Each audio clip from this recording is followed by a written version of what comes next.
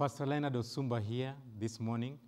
I welcome each and every one of you to command your morning. This is the day the Lord has made, and His mercies are renewed to us this day. I want to assure you that God has got good things for you planned in this day. We should arise this day in Jesus' name, go forward in His name, and have positive expectations of the good thing God has, has for us today. I'm going to talk about Jesus, our sufficiency. It's no coincidence that you're watching this program this morning. God, before the foundation of the world, had ordained it and planned it that you'd hear this message today because I believe God has things for you that would empower you to be able to stand on those truths and command your morning today and create the destiny and the future that God has intended always for you to have. I know each one of us has got a desire in heart. That desire can come to pass if only we believe and we command it in the name of Jesus. Now, Moses met with God one day, turned around, faced Egypt that he had fled away from. I believe the truths that you shall hear in this morning shall empower your life, shall empower you, and you shall turn and face the enemies that you have previously been unable to face. Yes, Moses was able to go to Egypt and free a whole nation. One man with God turned around from the place that had intimidated him, the place that he had fled around.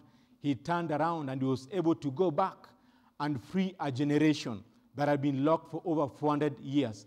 This day you are sitting there because God intends you to know that Jesus is your sufficiency in the following messages so that you may be able to turn round and go back and free your family, free, free your generation, and free your contemporaries from the bondages that have held them for generations to generations in the name of, in the name of Jesus, Jesus Christ.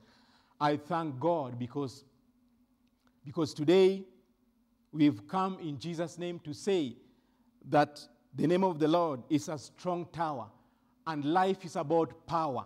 Anything we do is about power. To command your morning, you shall need power. Where do you get power? From the hand of God and for the message of God. There are th- two things I want to read and I want to talk about. One is in the book of Genesis. I want to read from the book of Genesis. Genesis chapter 2 and verse 8. Genesis chapter 2 and verse 8 is where I'm taking my verse from. Bible says here, the Lord planted a garden eastward in Eden, and there he put the man whom he had formed. There are two things I want to talk about in, in empowering you to command your morning. You know that God created from the worlds by the word that he spoke. We are in the image and the likeness of God, and we are going to form our world by our words. Whatever has been lost, whatever has been injured, whatever has been destroyed by the devil, today you are going to realize your new nature in Christ Jesus. You are going to rise up and command a restoration. You are going to recreate a new beginning for yourself by the words you are going to speak from your mouth. You're going to recreate a future. You're going to recreate a destiny for your home. You're going to change the atmosphere in your home by the words you speak in Jesus' name. Our words have got power to create, our words have got power to destroy. But today, I'm going to speak truths that are going to reveal to you the hidden truths in your life that are going to empower you to speak words that are going to recreate a new destiny, a new future for your home, for your children, and for your family in Jesus' name. In the book of Genesis, the Bible says, God planted a garden eastward in Eden, and there he put man whom he had formed. There are two things I want you to see in this verse. Number one, it is God who planted a garden. Number two, it is God who formed man. Let me repeat myself. Number one, God planted a garden and God formed the man. Those two attributes are necessary for authority to be able to stand and command. God must give you a placement and God must form you. I want to first of all talk about our placement in God. When God created the world, He created Eden. Once He created Eden, God positioned and determined everything that was in Eden, was ordered for, was created, not by the wisdom of man, but the wisdom of God. There was a place called Eden that God created that place, and God placed man where he had created. The first thing I want to talk about is divine placement for empowerment. Yes, divine placement for empowerment. God must create for you an estate, the way God created for Adam an estate. The placement of God is empowerment of God. Many of you are praying, you want a job. Why? You want divine placement. Hence, you want a job that God will give you. Hence, you're praying. Some of you outside there are praying for marriage because you want divine placement. If God would place you divinely in a marriage, you believe you'll have divine authority and divine power in the marriage. Many of you are, play, are praying for ministries and you want to be in the place where God has ordained for you. You want divine placement. Why? Because divine placement is divine empowerment. We have got we have got senators, we have got governors and elective posts in this nation, and many of you are looking for jobs and praying to find placement in com- companies. Why? Because you mean a placement by God is an empowerment by God. If God is going to empower you today, God must give you a divine placement. And I pray in Jesus' name, as you go in this day, you may have divine placement of God in Jesus' name. Bible says that the steps of a good man in Psalms 37, verse 23, says, The steps of a good man are ordered of God. Why is that important? Because when God orders your footsteps, you shall be able to stay and be in a place at the right time and meet the right people. God must order your footsteps to be in the right place. Your placement must be divinely ordered of God today. I pray in Jesus' name. This day, God in His wisdom, God in His mercy may place you, may order your footsteps to be in the right place at the right time for divine empowerment. Because when you are at the place God wants you to be, you are likely to meet the divine assignment God wants you to meet in the name of Jesus Christ. Men are praying and asking God for marriages, placement in marriage. Because you, you, you know, when God gives you a, a spouse, God has empowered your life. I pray this day, God may answer your plea. God may meet you at the point of your need and place you in your place of divine empowerment. I'm reminded of the place in Genesis 30, 20, 24 where Abraham had prayed that his servant may go and get our, bride for, for Isaac. And the, and the servant of God prayed, the servant of Abraham, prayed that God in his wisdom may grant him journey mercies, may be with him, and may put him in a divinely placed position that he may be able to prosper in his journey. And indeed, God answered his prayer. He was at a well ordained by God, at a place ordained by God. And when the shepherdess was coming, he was able to meet Rebecca at the place God had ordained for him. Your placement by God is your divine empowerment in Jesus' name. I pray for whatever you shall need today as you call upon God this morning. God may ordain your footsteps today, and you may be at the right place at the right time for God to answer you without any delay in Jesus' name. The place of divine placement by God is the place of divine rest. May God, in His mercy, give you divine placement that may give you divine rest in your life in Jesus' mighty name. I thank God this day because God says in the book of First Chronicles 12:32 that the children of Issachar knew the times and the seasons. That the times and the seasons. Because of that, what happened? They were in dominion over their brethren. The 12 tribes of, of Israel were in subject to the children of Issachar. Why? Because they knew the timing of God. Knowing the timing of God is knowing the placement of God because you know what God intends for you to have at the right time. And when you have it, you enter divine rest in Jesus' name. I pray every struggle may cease in your life today as you learn to know the timing of God. May God, in His wisdom and His mercy, lead you in His timing to give you divine rest and divine su- su- supply in the name of Jesus Christ. I thank God for His mercy and for His goodness. That's the number one thing I wanted you to know that divine placement was ordained of God in the Garden of Eden. And that divine placement of God was the divine empowerment of God. The second thing that I want to talk about is God saying He placed the man He had formed in the place He had made for the man. Praise Jesus. May God place you in the place He has formed for you so that you may have, move in all sufficiency, that the grace of God may be sufficient for you. When you are in the place where God has ordained for you, God's grace is sufficient for you in Jesus' mighty name. God formed man in his image and in his likeness. God talks, so man has to talk. We speak because, man, because God spoke. We also operate in the likeness of God. God dominates by his word. We must dominate by our word. When David was going to find Goliath, David said, This day the Lord has, will deliver you into my hands. Those are the words that David spoke out. And those words are the words that gave David dominance over Goliath. It's not the stones that David, David threw, it is the words that David spoke that day and said, This day the Lord will grant you, will give you into my hands in Jesus' name. This day I command in Jesus' name. This day God has blessed it and given you into your hands. The day is in your hands in the name of Jesus. Your day is in your hands by the authority in Jesus' name. Whatever you are facing this day, the chance for this day, God in His wisdom and mercy shall give you the wisdom, shall give you the grace to go and dominate this day in Jesus' name. It's by your words that you dominate. We are in the likeness and the image of God. So we must dominate by our words. We create our world by the words we speak. This is the day the Lord has made. We shall be glad and rejoice in it. Nothing shall cause you sorrow. We dominate the day in Jesus' name. Blessed is he who goes forth in Jesus in the name of the Lord.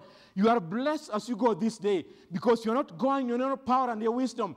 You are going in the name of Jesus Christ. So you are blessed in Jesus' name. You better believe that for the glory of God. For God has created us in his image and in his likeness. So we dominate in the name of Jesus by the Spirit and by the word of God. In Jesus' name. Now, there is something that happened at the Garden of Eden. So here we have got man created, placed divinely by God in the nature of God. Then man was able to exercise and have perfect dominance. Perfect dominance. Yes, I'm, I'm in the place God wants me to be. I'm in the image and the likeness of God. I therefore operate like God. I've got perfect dominance. I pray for anybody who is struggling anywhere that you are. God of a second chance may relocate you today and give you the place that He has intended you to be, that the grace of God upon you may function and you may cease to live by flesh and blood and live under the grace of God, which is where our sufficiency is. Paul says, I am what I am by the grace of God. That God, in His wisdom, may give you the grace and to have the dominion because you are operating in the place where you are in the image of God under the grace of God in Jesus' name. Let me tell you, brethren, the devil knew something. He knew something. He knew the dominance of man over the earth was because he was where God had placed him. Is it any wonder? Many, many men call of God may struggle in the place of their calling. Because what the devil can do is to make sure that he has misplaced you a little bit. Because when you are misplaced in your calling, then you are struggling in your calling. No wonder God told Abraham, this sacrifice of Isaac can only happen in Mount Moriah. May you find the place of your calling, that you may find the place of your sacrifice, that you may find the place where the divine promises of God upon your life may be released for you and be established. It was when Abraham found Mount Moriah that he could sacrifice at Mount Moriah that the promises of God that God had promised him was able to be established upon his life. Any pastor, any man of God struggling out there, I pray by the grace of God that God may relocate you by his mercy. God of a second chance may give you a second chance and relocate you so that you are not in the place where you, are, you ought to what you ought to be, doing what you are doing for God under the grace of God. And every promise of God upon your life will find fulfillment in Jesus' mighty name. Hallelujah. In Jesus' name. Every marriage that is struggling because of wrong misplacement, God is a God of a second chance. Bible says in Christ Jesus, all things will only work together for your good. I pray that that shall be your portion in Jesus' name. Believe the God of a second chance. All things will only work together for your good in the name of Jesus Christ. The devil knew if he can misplace you, he has put you into a place of struggle. But he also knew something. If I can change the nature of man, I can change his output. You can cover, if I can change the nature of man, I have changed the output of man. He knew it was the divine nature of God in man that was making man have the dominance that man had. And he decided to say, I'm going to change this nature. Because if I can change the nature of man, I can change the output of man and I can change his dominance. So he cheated man, and man fell, and man ate the forbidden fruit, and man's nature began to change and was changed. And for the first time, man hid from God. I want to read a scripture that is very important as I want to delve into this. Genesis 3, verse 8 to 9. Genesis chapter 3, verse 8 and 9. And they heard the sound of the Lord God walking in the garden in the cool of the day. And Adam and his wife hid themselves from the presence of the Lord among the trees of the garden. Then the Lord God called to Adam and said to him, Where are you? When the nature of man changed, this is very unfortunate, but listen, it's, gone, it's a very crucial time. When the nature of man changed, for the first time, man hid. Man backed down. Fear befell man. Why did man hid? Because it occurred to him for the first time there are things that he realized he would not be able to do. That's why he's hiding. Man backed down. Man was not created by God to back down. Man was created for dominance. He could command. He could say, This a lion is a lion. He could uh, command things. But for the first time, when his nature was corrupted, he backed down because he lost his dominance. For the first time, I cannot become a feature in the language of man. Will I ever get married? Started to creep in man. Will I ever succeed? Doubt, fear crept into man man was hiding. Many people are hiding. They are wondering whether they shall succeed. That is hiding. God never created man for failure. To talk failure and to think failure is to talk from the fallen nature, is to think from the fallen nature. That is hiding. Man stepped away from the place of dominance and for the first time, there were things that man could not do. He hid from adventure, he hid from his responsibility. Fathers, mothers, children, employees hide from their responsibilities. I cannot manage. It's too much for me. That's a language God never intended man to have.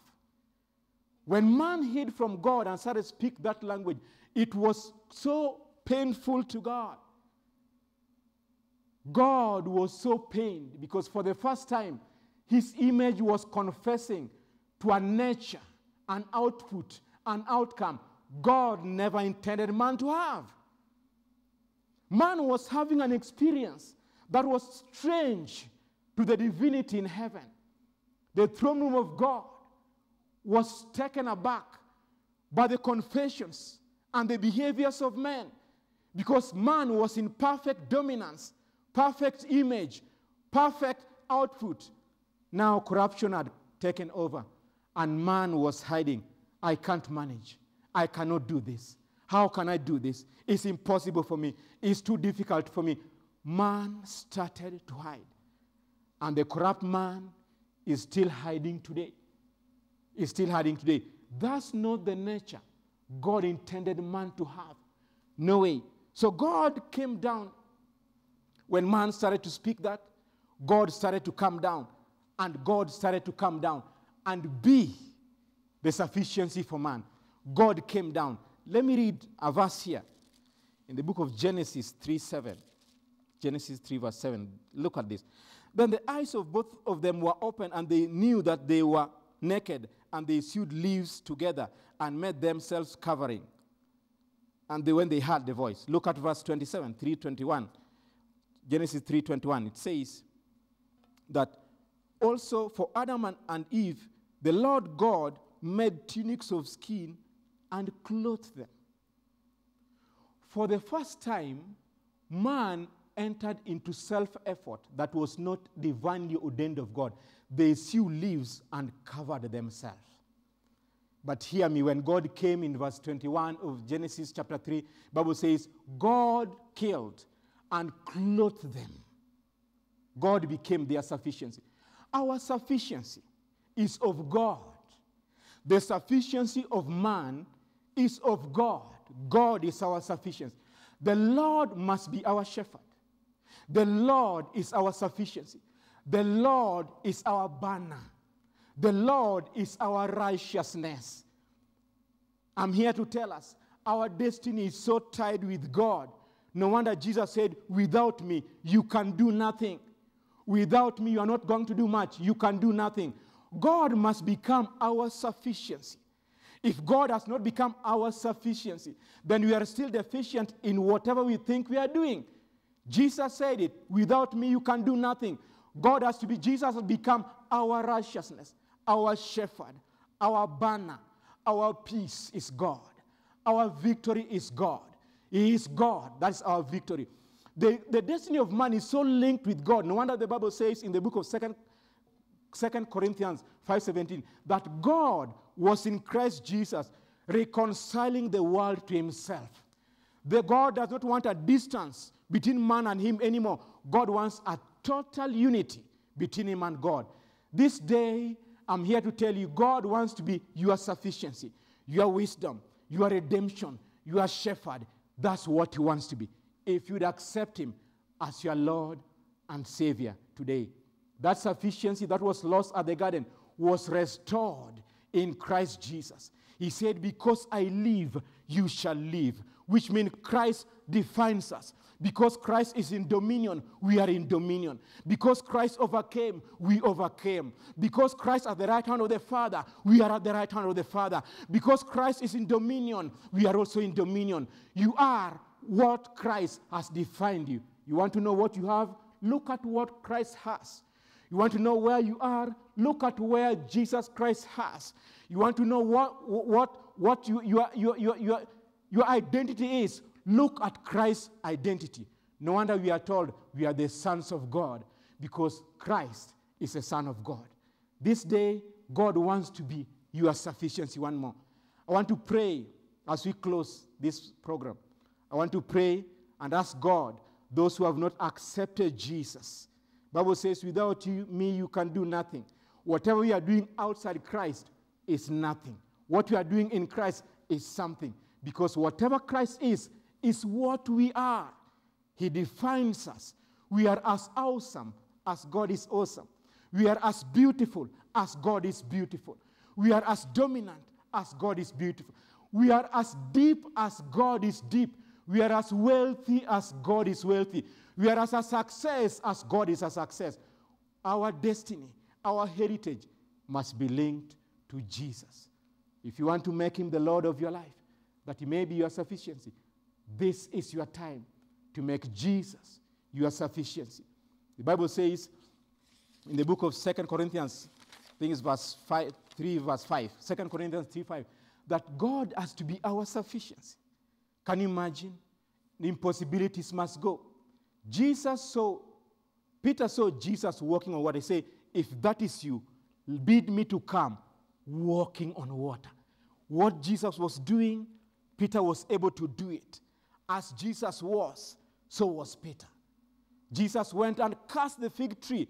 Then he says in Mark 11 24, Whoever shall speak to this mountain, be thou removed and be cast into the sea, and shall not doubt, but shall believe that those things he says, he shall have them.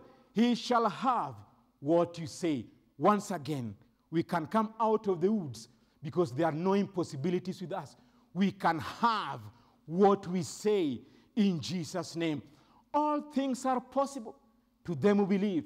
Once more, we are not hiding. Why? Jesus is out from the grave. We are out from hiding in the woods.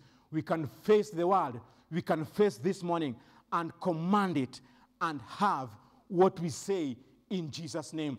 We are now the righteousness of God in Christ Jesus. Once more, the image of God has been restored. The placement of God has been restored.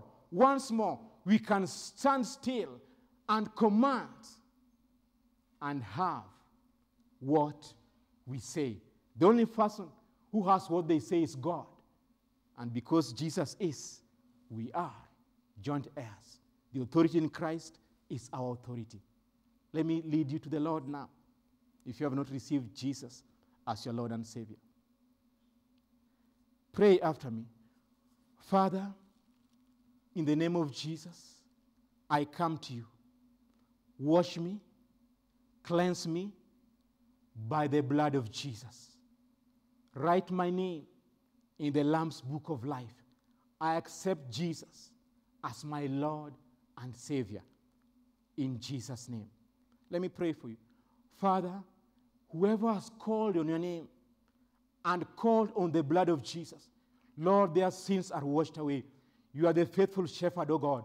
Lead them to the right church in the name of Jesus. May they have divine encounters with men who will raise them in the path of righteousness in Jesus' name. Today, go forth in Jesus' name. You shall have what you say. What do you need today? It's not hiding time, it's a time to come out of your hiding and command your morning, command your month, command your year. This is the day the Lord has made. He has got enough grace for you, He has got enough wisdom for you, He has got enough goodness, the goodness of God. Not the goodness of man, the goodness of God awaits you. If in the desert goodness was awaiting for them, they stepped out and collected manna, much more in this new covenant under the blood of Jesus, you'll receive and reap much more this day in Jesus' name. God bless you and prosper you and lift his light of his countenance upon you in Jesus' name. Pastor Leonard from God's Love Sanctuary telling you, you are of God. In Jesus' name.